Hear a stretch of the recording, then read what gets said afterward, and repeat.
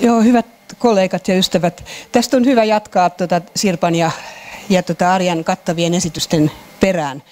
Ja tuota, mistä mä taas vaihdankaan tätä täältä. Joo. Eli mä puhun, käyn läpi lyhyesti meidän suositukset imeväisikäisille, tämän suosituksen taustaa ja sitten sitä, mitä tiedetään siitä, mitä suomalaiset vauvat ja lapset syövät. Ja, ja myös imettävän äidin ruokavaliosuosituksista hieman. Sitten erityistilanteista olen valinnut jodin ja vekaani imeväisen. Ja sitten joitakin käytännön, jo, käytännön näkökulmia ja, ja johtopäätökset. Ja, ja meidän suosituksessahan on entisen tapaan, että useimmille täysiaikaisena normaalipainoisilla äh, useimmille täysiaikaisena normaalipainoisilla syntyneille lapsille, niin äidin maito riittää ainoaksi eh, ravinnoksi puolen vuoden ikään saakka D-vitamiinia lukuun ottamatta.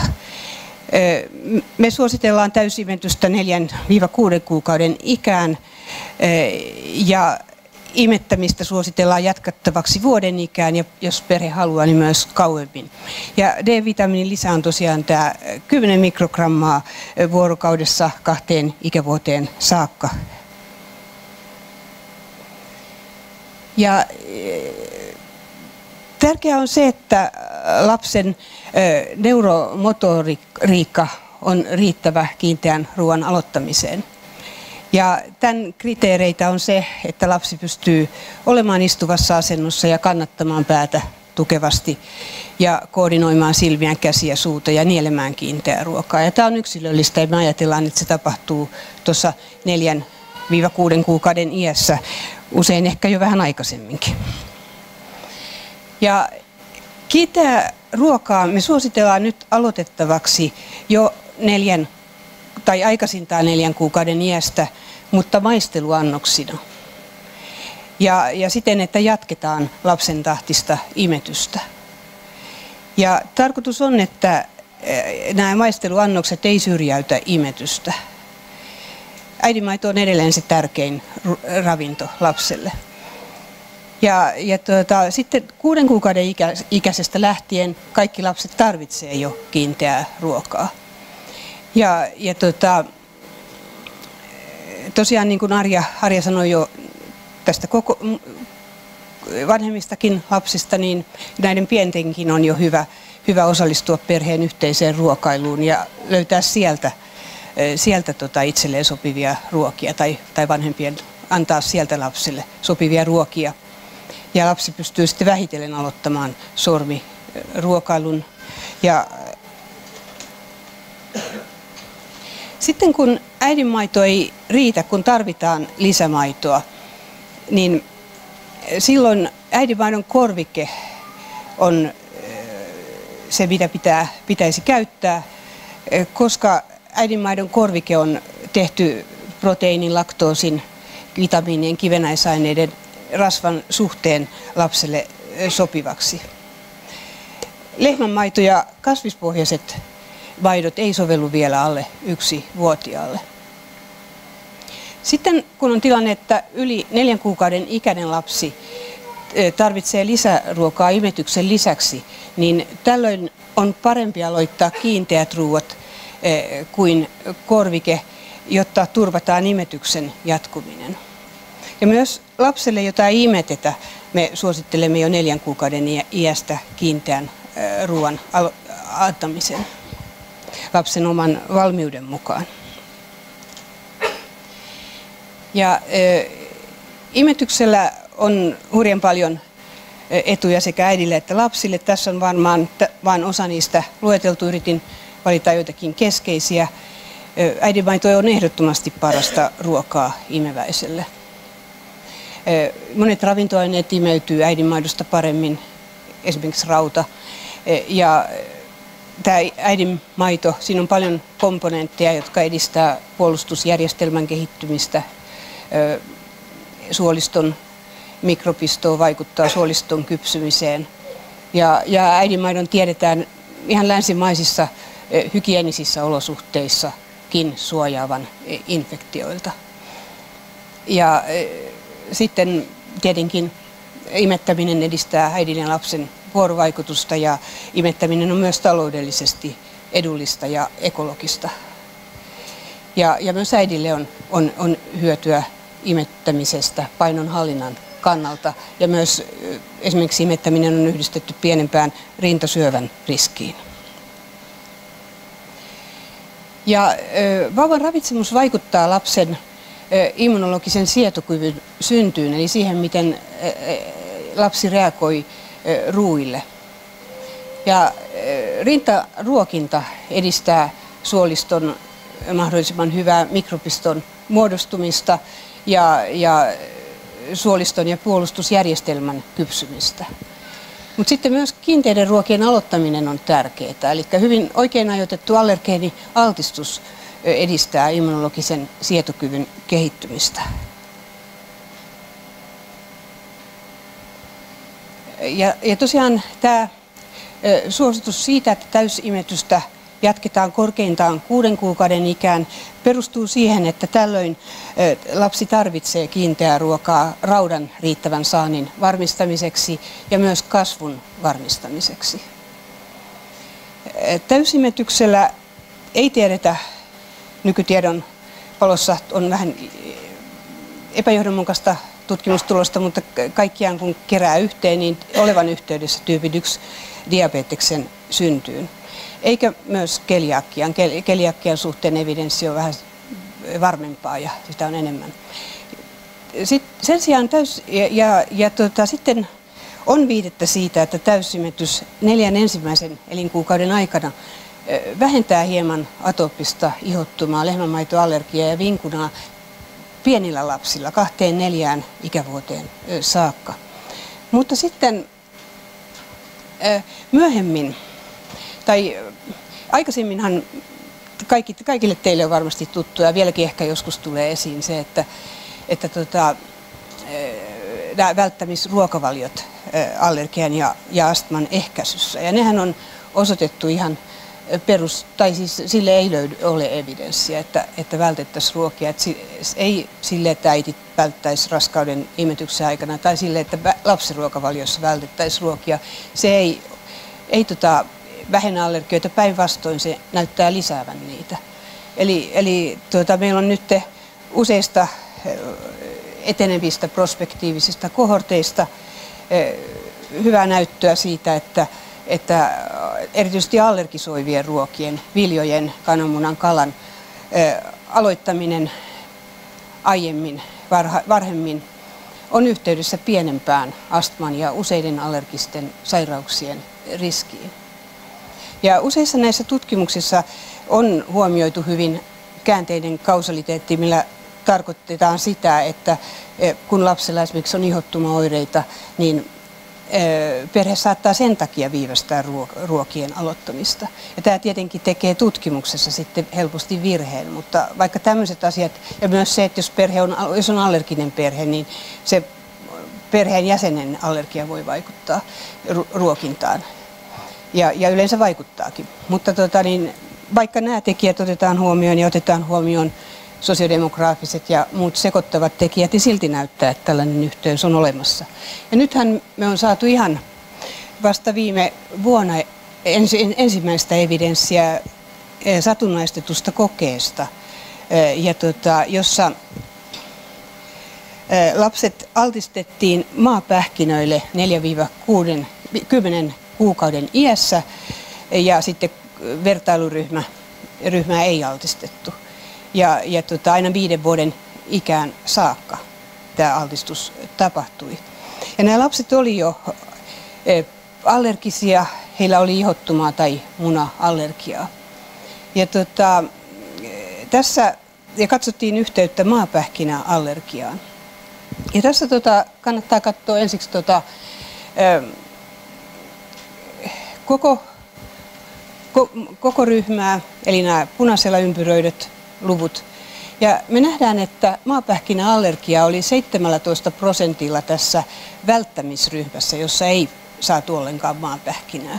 Ja tässä toisessa ryhmässä joka sai maapähkinää vain kolmella prosentilla. E, eli tämä on aika dramaattinen ero. Ja tämä ero näkyy sekä niillä, jotka, e, joilla ei ollut e, tällaista allergiaa viittaavaa prick-testi positiivisuusarvoa. Että ne, jotka oli negatiivisia, se näkyy niillä, joka on toi, toi reuni, toi, toisessa reunassa oleva kuva. Ja sitten tässä keskellä niillä, jotka oli prick-testi, eli allergiapistokoe positiivisia, niin, niin myös siinä ryhmässä nähtiin tämä sama ero.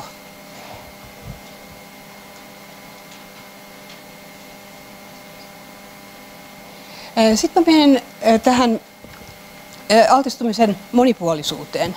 Eli tässä on tulosta eurooppalaisesta tutkimuksesta useammassa Euroopan maassa tehdystä, jossa on katsottu ensimmäisen elinvuoden ruokaryhmien lukumäärää ja sitten atooppisen ihottuman kehittymistä ensimmäisen ikävuoden jälkeen.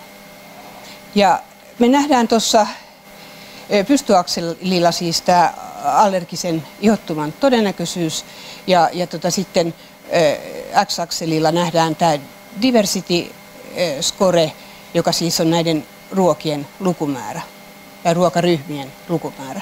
Ja me nähdään, että kun lapsi saa useammasta ruokaryhmästä ruokia, niin hänen todennäköisyytensä saada atooppinen ihottuma vähenee. Ja tässä vielä ihan suomalaisia tuloksia, jossa me on katsottu astman riskiä. Ja, ja, ja tuossa kun me katsotaan kuuden kuukauden iän ruokintaa, niin, niin tuota, me nähdään, että ne lapset, tässä on referenssitasona ne lapset, jotka on saanut yli kahdeksaa ruokaa siinä vaiheessa. Ja, ja kun me katsotaan niitä, jotka on saanut kuutta tai vähempää ruokaa, niin heidän riskinsä sairastua astmaan on kaksi puolikertainen verrattuna näihin, jotka saa näitä useampia ruokia jokuuden kuukauden iässä.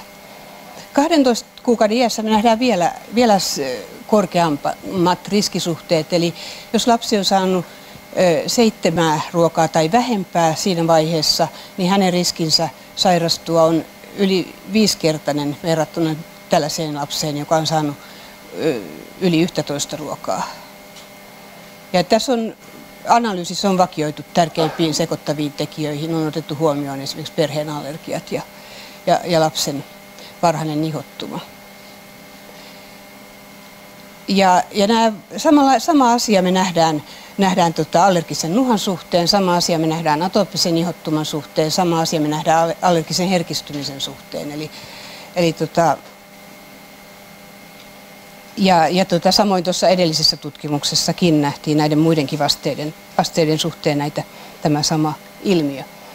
Tota, sitten jos me mennään siihen, mitä suomalaiset ä, lapset tosiaan tai imeväiset syö, mitä me siitä tiedetään, niin tässä on meidän vuoden 2000 tai siis itse asiassa kaikista imetysselvityksistä, joita on tehty vuodesta 1995 lähtien viiden vuoden välein 2010 saakka. Ja tota, tässä on nyt täysimetys. Ja tästä me nähdään, että kahtena viimeisenä vuotena, eli 2005-2010, täysimetys on pikkasen petraantunut tai lisääntynyt. Mutta kuitenkin, jos me katsotaan tuota neljän kuukauden kohtaa esimerkiksi, jossa meillä nyt tällä hetkellä suositukset on, tämä uusi suositus on, on niin tuota, vain kolmasosa, eli 34-32 prosenttia, niin oli silloin täysoma, täysimetettyjä. Eli aika pieni luku. Tässä kuvassa ei näy kuutta kuukautta, mutta kuuden kuukauden kohdalla tuo luku on vain ihan 1-2 prosenttia. Ja sitten tässä on tämä kuva, minkä Sirpa jo näytti. Eli imetettyjen lasten prosenttiosuus äidin koulutusasteen mukaan. Ja tässä on neljä koulutusastetta. Ja tämä on tosi äh, dramaattinen just tämän sosioekonomisen eron, eron osoittamisessa. Eli, eli äh, tosiaan kun me katsotaan esimerkiksi tuosta kuuden kuukauden kohdalta, niin 20 prosenttia vaan näistä perusasteen koulutetuista – on silloin imetettyjä. Kun tämä luku on kuuden kuukauden kohdalla näillä eniten koulutetuilla 80 prosenttia. Eli siinä on nelinkertainen ero, eli tämä näyttää musta sit, sitä kyllä tosissaan, että tässä on jotain tekemistä tai tälle pitäisi pystyä jotain tekemään.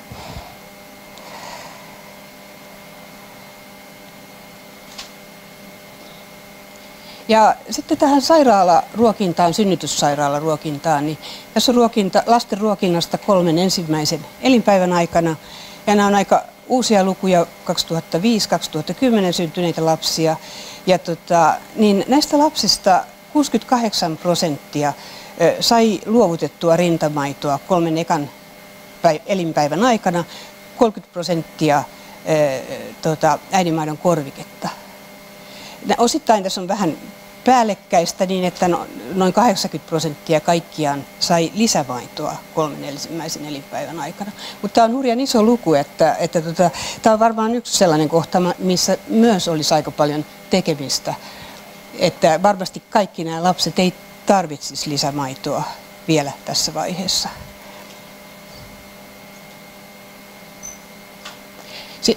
Ja sitten huomionarvoista on vielä se, että itse asiassa lähes kaikkia, eli, eli yli 90 prosenttia, lähes 100 prosenttia näistä, näistä tota, lapsista sitten kuitenkin imetettiin. Eli, eli se imetys kuitenkin käynnistyi lähes kaikilla. Tota, sitten altistumisesta äidinmaidon korvikkeelle, tässä on katkoviivalla merkattu, ja sitten kiinteälle ruoalle jatkuva viiva. Ja tuota, Tämä on tämmöinen elonjäämistodennäköisyys, eli kun me katsotaan tuonne ylös, ylös tuonne ykkösen kohdalle, se tarkoittaa kohtaa, jossa kukaan ei ole vielä altistunut, lapsi on nollavuotias, eli syntynyt juuri. Ja sitten me nähdään altistuminen tosiaan tälle korvikkeelle, joka heti, heti niin kuin tämä käyrä menee jyrkästi alas, eli se kuvaa sitä, sitä tota sairaalaruokintaa ja, ja tota, sitten myöhemminkin aika jyrkästi alaspäin. Kaikki ei sitten ikinä altistu. Siinä on 10 prosenttia suunnilleen, joka ei koskaan saa korviketta. Sitten kiinteät ruuat tulee, tulee myös aika pian. Ja tota, jos me katsotaan sitten tota, kohtaa, jossa puolet on altistunut, niin me nähdään, että se on korvikkeen kohdalla jo, jo tota, niin alle kaksi kuukautta. Että se on hurjan matala ikä. Ja, ja tota, sitten tämän kiinteän ruoan, ruoan suhteen niin se on semmoinen reilu kolme puoli kuukautta, alle neljä. Eli tosi niin kuin aikaisin, aikaisin altistutaan.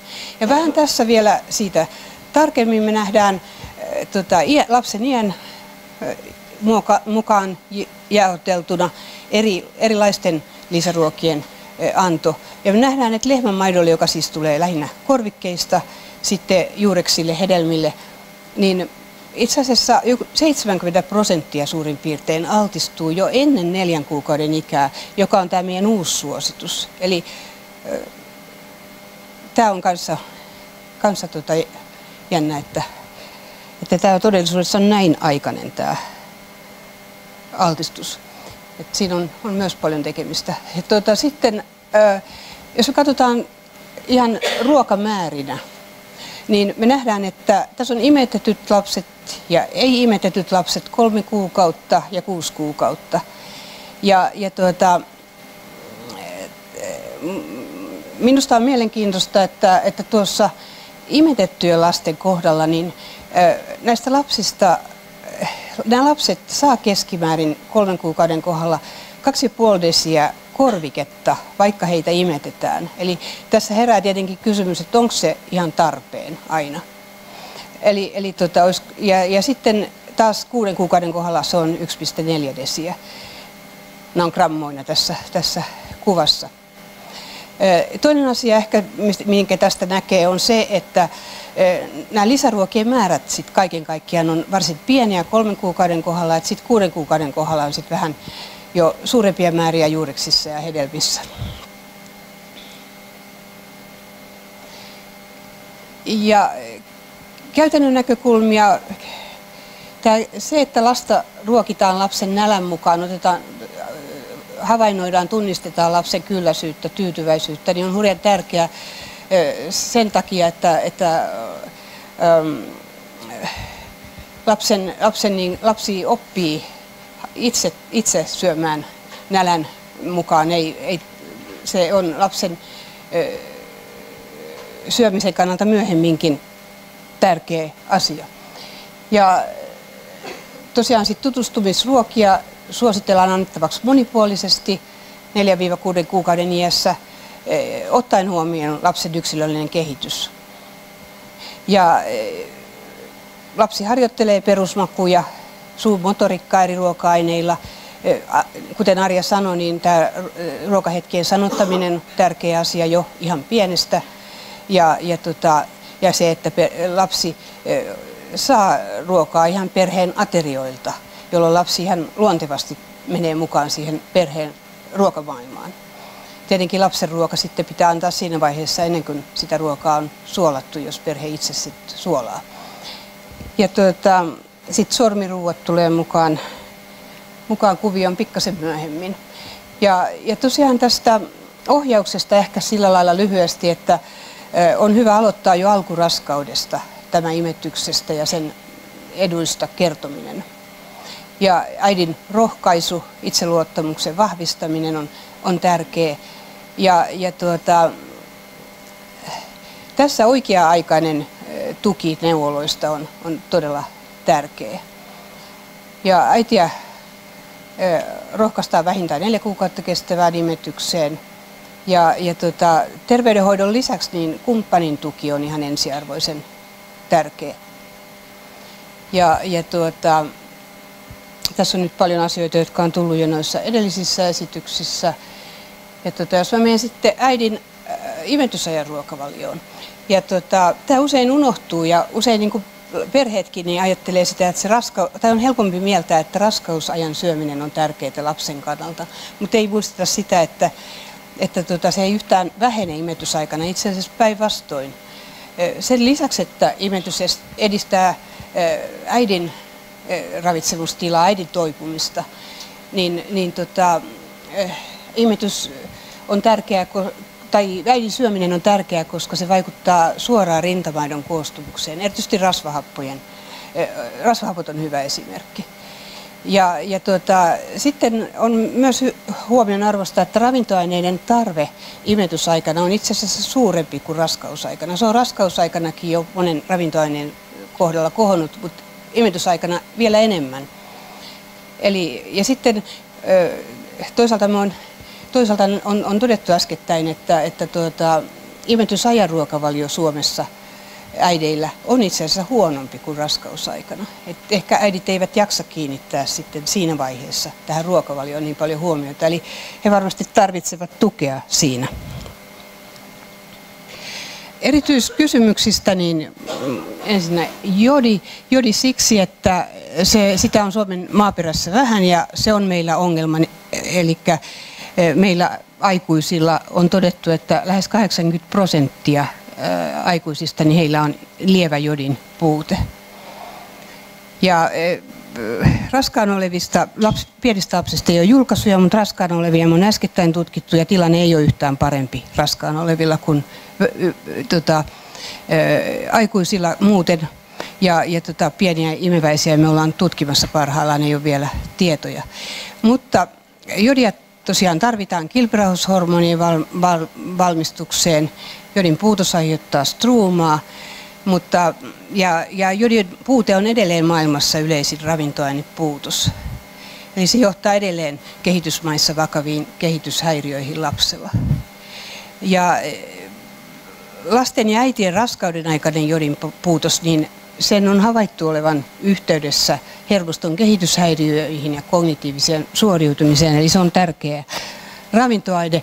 Tarve on raskaana olevilla ja imettävillä hieman suurempi kuin aikuisilla ylimalkaan. Ja Arja toikin tämän kuvan jo esiin. Mä en tähän tarkemmin. Maitotuotteet on se tärkein lähde, mutta sitten tosiaan on, on muitakin. Ja tähän asiaan on onneksi nyt kiinnitetty huomiota ja suositellaan jodiointia teollisuudelle, joukkoruokailulle ja perheille. Tai jodioidun suolan käyttöä. Ja sitten vegaaniruokavalioon. Useimmat näistä suosituksista, suositukset imetyksestä, kiinteistä ruuista, D-vitamiinista, ruokien turvallisesta käytöstä, on ihan samat kuin kaikille. Mutta sitten on joitakin erityiskysymyksiä. Alle yksivuotiaat on riskiryhmä silloin, kun äiti ei imetä. Meillä ei ole tällä hetkellä markkinoilla tälle ryhmälle sopivaa korviketta. Eli, eli me ei suositella eh, alle yksivuotiaalle lapselle, jota ei imetetä, niin vegaaniruokavaliota.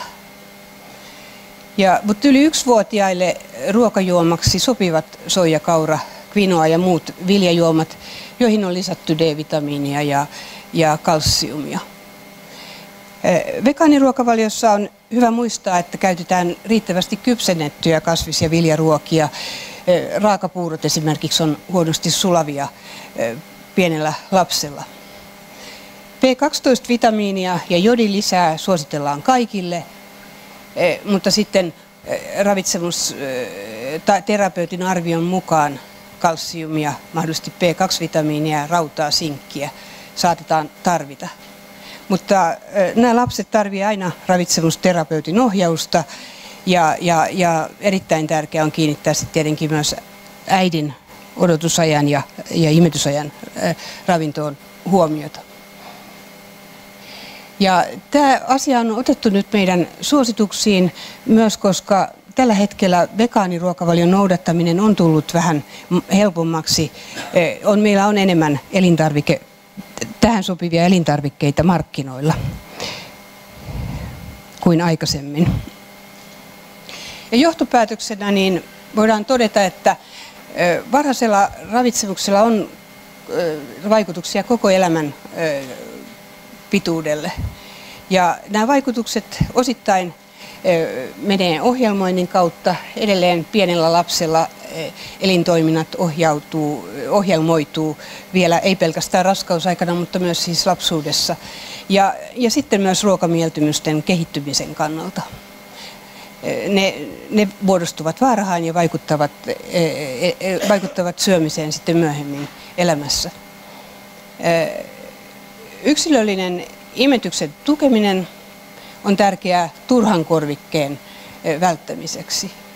Ja sitten äidinmaidon korvikkeen antaminen synnytyssairaalassa, niin se, sitä pitäisi, pitäisi välttää ja, ja, ja tota, antaa vain lääketieteellisin perustein. Ja, ja allergioiden ehkäisyn kannalta monipuolinen altistuminen kiinteille ruuille maisteluannoksina 4-6 kuukauden iässä on tärkeä. Ja kun koko perhe syö säännöllisesti ja monipuolisesti, niin silloin pienen lapsenkin on helppo tulla siihen mukaan. Ja tämä, tosiaan tämä, nämä makumieltymykset alkaa kehittyä jo tässä imeväisiässä ja, ja tota niin, tämä Susanne Angleen runo on oikein sopiva ja hyvä. Joo, kiitos paljon.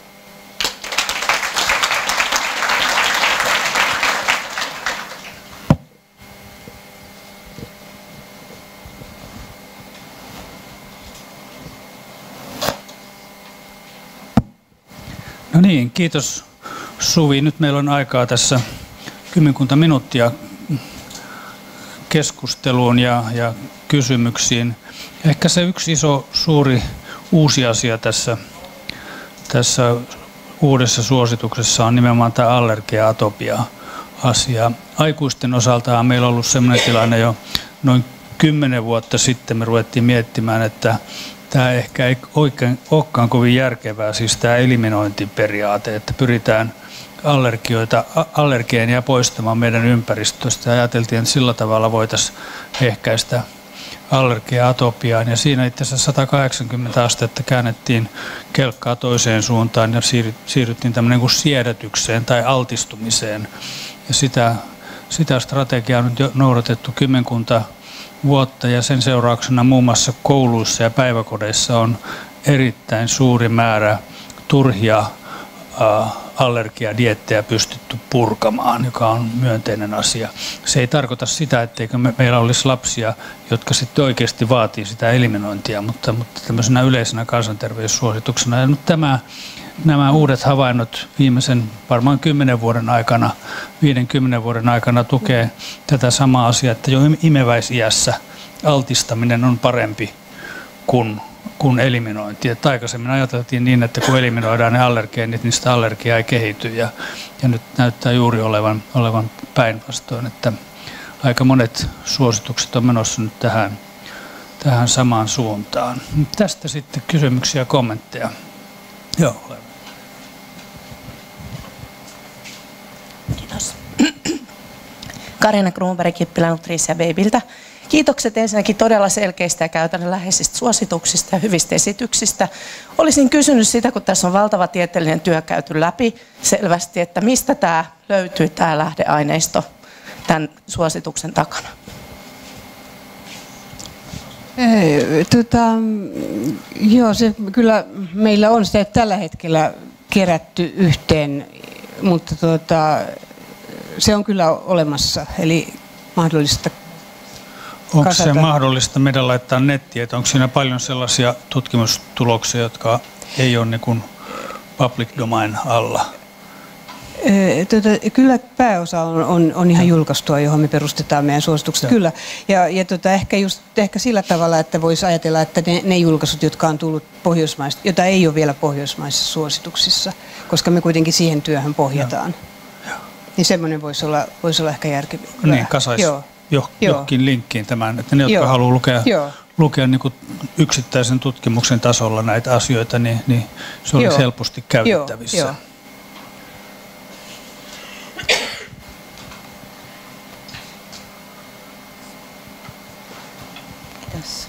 Ulla Luhtasela Suomen Nestleeltä ja kiitos, tosi hyvä esitys oli.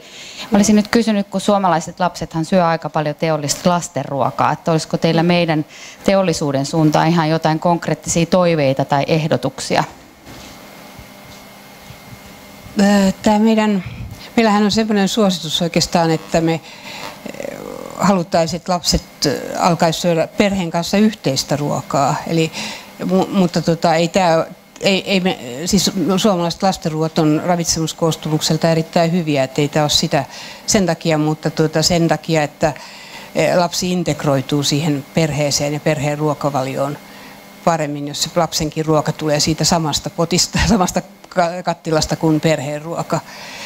Mutta tota, ei mulla nyt ihan näin äkillisesti mitään, mitään erityistä terveistä ole sinne teollisuuteen päin.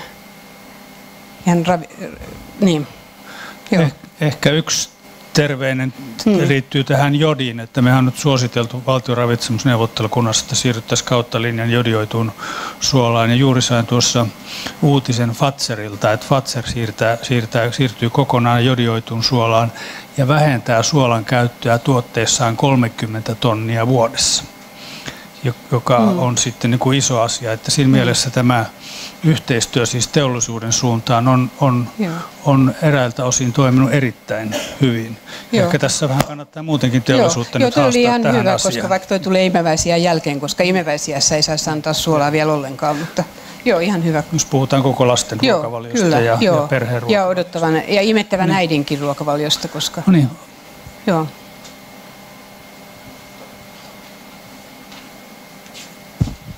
Terve, mä oon Niina Mäkinen imetyksen tuesta.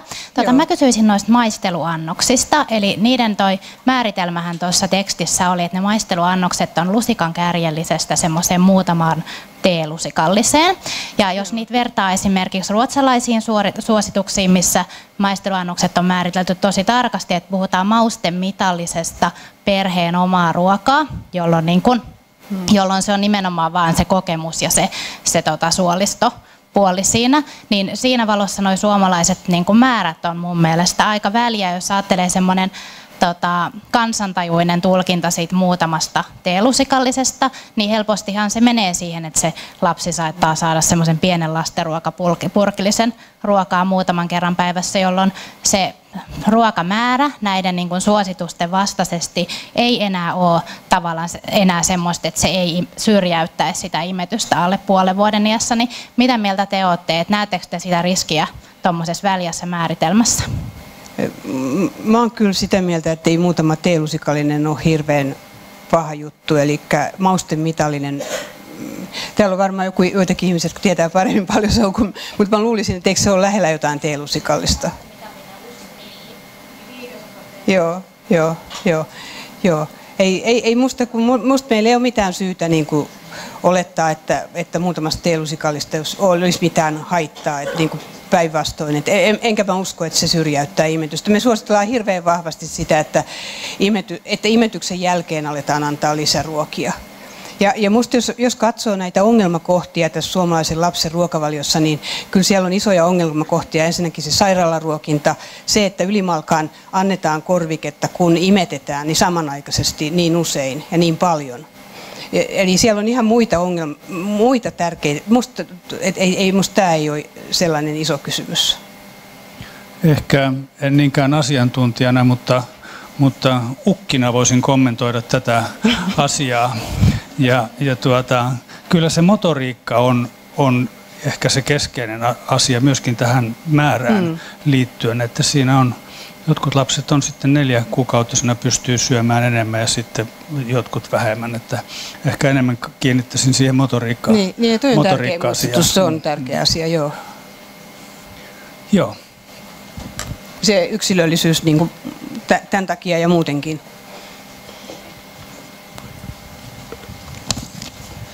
Leena Alppinen, Helsingin kaupunki.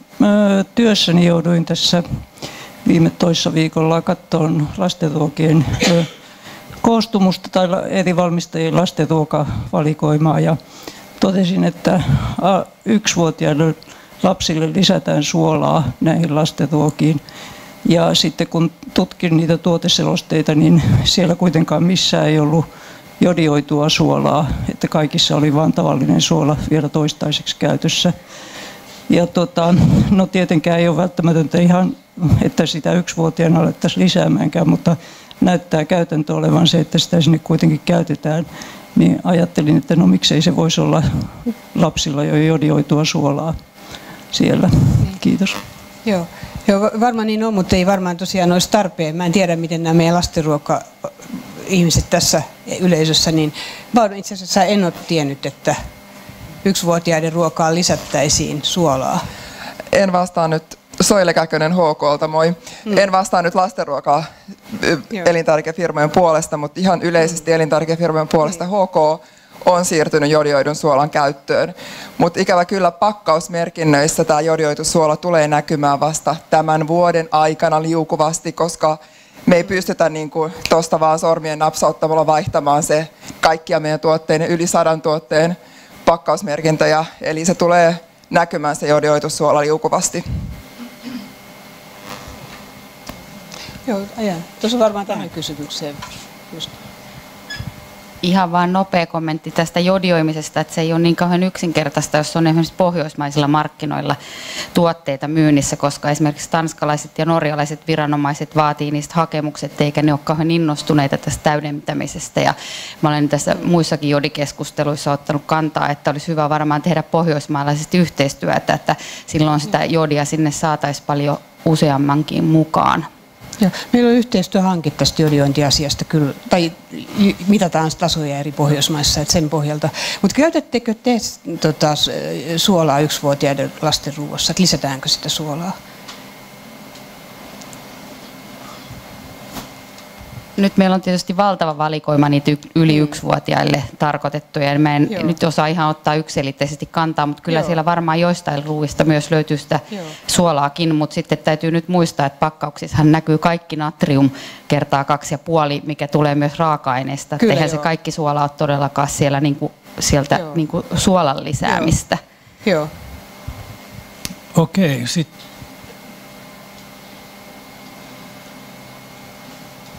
Kiitos. Anna-Ritta Kästi. Mulla olisi kaksi huomiota tai kysymystä. Ensinnäkin tässä esityksessä tosi monesti ö, sanottiin, että tämä uusi suostus neljä kuukautta, vaikka kuitenkin luvussa 5.1 selvästi sanotaan, että yksinomaista eli täysimetystä suostellaan kuuden vähintään neljän kuukauden ikään, eli se ei ole mm. miksikään muuttunut. Käsittääkseni vanhassakaan suosituksessa ei ole alle neljän kuukauden niin täysimetystä suositeltu. Ja lisäksi se, että THL on tänään julkaissut tiedotteen, jossa puhutaan, viitaten nyt näihin ma- maisteluannoksiin, että, että täysimetyksen ohessa voi tarjota näitä maisteluannoksia sen häiritsemättä imetystä, mutta silloinhan kyseessä ei ole enää täysimetys. Eli, eli jos, jos jotain muuta kuin sitä äidinmaitoa tai D-vitamiinia annetaan näitä maisteluannoksia, niin se ei ole enää täysimetystä, että se vaan, että se herkästi lähtee kansankielisesti sitten kuvitellaan, äidit kuvittelee täysimettävänsä, vaikka he päivittävät näitä teelusikallisia tarjoaa, niin tässä mun mielestä olisi kyllä korjaamisen paikka. Joo. Mun mielestä siellä ei kyllä pitäisi lukea niin, eli se on, e- e- eihän se enää ole täysimetystä, jos annetaan jotain muuta. Joo, siellä on sitten virhe. Joo, Ursula. Mut, koska se on se 4-6 kuukautta ja yksilöllisesti ja lapsen kehitty valmiuden mukaan myöskin. Joo, Ursula Schwab, äh, ravitsemusterapia apulaisprofessori Itä-Suomen yliopisto. Täällä on teollisuuden jäsen ja mä olisin toivonut, että he olisivat tätä asiaa kommentoinut, mutta mä kommentoin nyt akateemisena ihmisenä. Nimittäin mä olen tällä viikolla omien opiskelijoiden kanssa käynyt suomalaisen lastenruokien valikoiman läpi. Meillä on kyseinen opintojakso menossa parhaillaan ja alle yksivuotiaiden näistä purkkiruuista ei löydetty kyllä yhtäkään sellaista, jossa olisi ollut lisättyä suolaa. Nyt mä vähän hämmästelen, että mitä hänä tuotteet mahtaa olla, tai sitten meille Kuopioon oli päätynyt jotenkin vähän erilaisia tuotteita. Ja sitten yksi, ö, ö, yksivuotiaille ja sitä vanhemmille tarkoitetuissa näytti olevan 0,2-0,3 prosenttia oli se tyypillisin suolan, lisätyn suolan määrä. Mutta mä toivon, että teollisuus itse kommentoisi näitä asioita. Kiitos. Nyt meillä on viimeinen kysymys, sitten me mennään tauolle. Pia Högström. Mä voin sen vaan tässä kommentoida, että markkinoilla on yli yksivuotiaille tarkoitettuja lastenruokia, joista ei ole lisättyä suolaa. Niitäkin toki löytyy. Mutta mun kysymys oli näistä vegaaniruokavalion suosituksista yli yksivuotiaille, eli nämä soija- ja kasvis- ja viljapohjaiset mm. juomat. Niissä aika monessa lukee, että ei alle kolme tai ei alle kymmenen vuotiaille. Onko nämä edelleen tällaisille yli yksivuotiaille suositeltavia vai voiko niissä esimerkiksi jonkun vitamiinin saanti nousta liian korkeaksi? Kyllä niitä ohjeita pitää noudattaa. Että jos niin... niin. Niin. Joo, kyllä. Joo. Joo, joo. Ursula tietää varmaan tämän valikoiman parhaiten näiden löytäminen ei, ei ole mikään ongelma. Että hoina ruoka-allergisia lapsia, joilla, jotka käyttää, käyttää hyvin usein, usein tota, kaura- tai, tai soijamaitoa, niin, niin eh, ei tämä ole mikään ongelma. Mutta ihan mitä tahansa sieltä hyllystä toki ei voi ottaa. Mutta, mutta ainakin Kuopion alueella niin erittäin hyvin löytyy sopivia vaihtoehtoja. No niin, kiitoksia tästä. Nyt me pidetään pieni tauko ja jatketaan kello 12. Kiitos.